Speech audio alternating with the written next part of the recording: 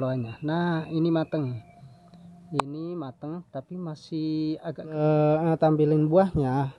Kita pilih yang halo sahabat bonsai. Kita sharing lagi hari ini. Nah, kebetulan cuaca lagi mendung lagi enak-enaknya di luar di kebun. Kalau cuaca seperti ini jadi nggak panas-panasan kita. Hari ini kita sharing lagi berbagi ilmu lagi tentang merawat pohon bonsai tentunya dan di mana berbagi itu enak ya. Kita bisa saling memberi manfaat pada yang lain tentunya di dunia bonsai yang sehobi. Kita jangan pelit ilmu karena kalau pelit kita juga nggak dapat ilmu dari yang lain tentunya.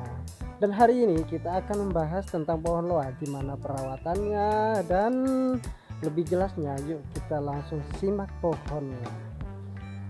Nah jadi kayak gini ya saya ingin berbagi tips bagaimana merawat pohon loa sampai berbuah kawan-kawan. Jadi ini daunnya sudah kecil seperti ini ya. Nah kemudian biar enggak penasaran terus saya tunjukin buahnya ada di sebelah bawah kawan-kawan. Nah buahnya ngerempul sampai kayak gini. Ini bukan tanpa cara ya. Bagaimana cara membuahkan atau memunculkan buah pohon arah atau loa seperti ini. Nah kalau seperti ini kan jadi cakep pohon loanya. Nah ini mateng. Ini matang tapi masih agak keras ya. Kapan hari? Ada yang besar. Nah ini besar kapan hari? Ini jatuh dari atas. Ini sudah mengkerut kisut ini. Tua iki yo tua. Kisut sekarang jadi ada banyak buahnya di sini coba saya dosorkan oh keliru ngomong. Sodorkan bukan dosorkan nah sodorkan ke dalam. Jadi buahnya ada banyak di sini. Nah tuh buahnya ada banyak. Jadi bukan tanpa sebab bukan tanpa cara membuahkan pohon luas seperti ini. Jadi beberapa cara sudah saya terapkan termasuk pemupukan dan alami dan hasilnya juga nihil dan setelah satu ini saya pakai ini cukup berhasil. Untuk membuahkan pohon luas seperti ini saya memakai pupuk perangsa buah tentunya. Yang organik juga ada yang kimia juga ada. Tapi yang lebih cepat itu biasanya bahan kimia ya. Dan juga bahan kimia itu ya pengaruhnya bisa teman-teman ngerti juga lah ngerti juga pengaruhnya seperti apa.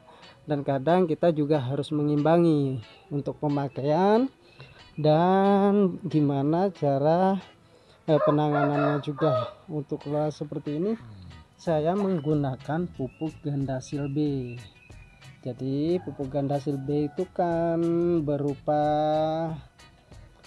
serbuk atau bubuk seperti tepung ya kita bisa cairkan atau langsung taburkan di sini. Tapi ini saya enggak enggak langsung tabur ya. Ini saya aplikasikan di batangnya. Batang ini saya kasih luka. Bisa pakai jarum ataupun pakai pucuk pisau ujung pisau kita kasih luka dulu. Setelah kita kasih luka nanti gandasil B yang serbuk nah itu kita cairkan dulu kemudian kita siramin di sini aja. Nah, jangan gandasil D ya. Kalau D itu kan untuk daun dan kalau B itu untuk buah pastinya. Dan efeknya nanti setelah pengaplikasian sekitar empat bulan dari awal ya itu biasanya pengaruh pada daun pada daun yang agak lebih mengecil lagi karena efek dari gandasil B itu suplemen atau uh, nutrisi untuk ke buah jadi nutrisinya dilebih alihkan lebih dialihkan ke buah merangsang buah dan untuk pertumbuhan pohon atau daun itu sedikit berkurang karena ditransfer ke buah.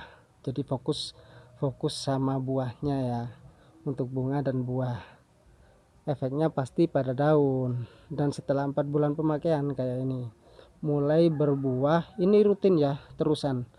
Jadi setelah ini habis semua akan masanya ini akan habis semua kemudian tua dan dia jatuh akan muncul lagi seperti ini di sini. Nah ini muncul lagi. Nah kecil-kecil seperti ini.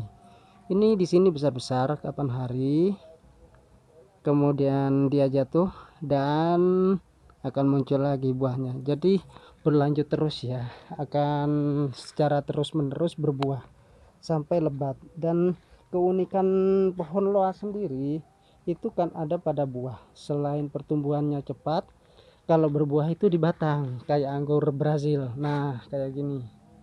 Buahnya tuh banyak banget. Kalau ini tampil gundul tanpa daun ini pastinya cakep. Akan terlihat semua bunganya. Dan untuk jenisnya loa itu kan ada dua.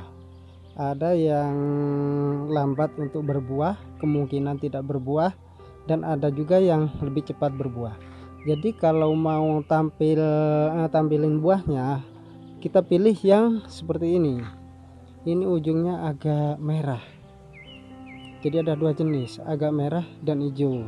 Yang lebih cepat berbuah atau cenderung lebih memunculkan buahnya itu yang ujungnya merah kalau masih muda. Nah seperti ini. Yang mana ya? Contoh yang lebih muda lagi nggak ada di sini. Nah, nah ini ini ini. Nah, jadi lebih merah. Ujungnya lebih merah seperti ini.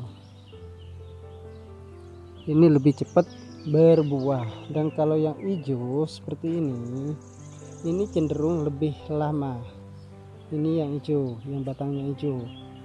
Kalau kondisi subur dan uh, dia memanjang ini akan terlihat mana yang hijau dan mana yang merah. Contohnya yang merah seperti ini yang di sini. Nah ini yang merah. Yang gagangnya merah seperti ini. Jadi beda ya. Ini yang lebih cenderung cepat untuk berbuah daripada yang hijau barusan. Sebenarnya ada banyak buahnya di sini cuman masih kecil-kecil semua dan cenderung di batang ya kalau loa karena buahnya memang seperti anggur Brasil buahnya nempel di batang-batang seperti ini. Nah jadi seperti itu teman-teman. Kalau mau pohon loanya berbuah kita bisa pakai gandasil B seperti yang saya aplikasikan pada pohon loa saya. Nanti buahnya pasti maknyus pasti lebat banget. Dan itu akan tumbuh buahnya secara terus menerus pastinya.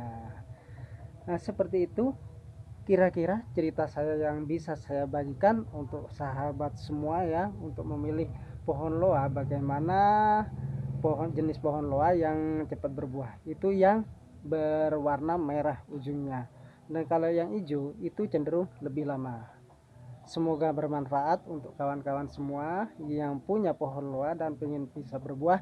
Itu saya pakai ganda sil B. Itu perangsang bunga dan buah. Jangan pakai yang D ya. Itu untuk kesuburan daun. Oke, salam satu hobi.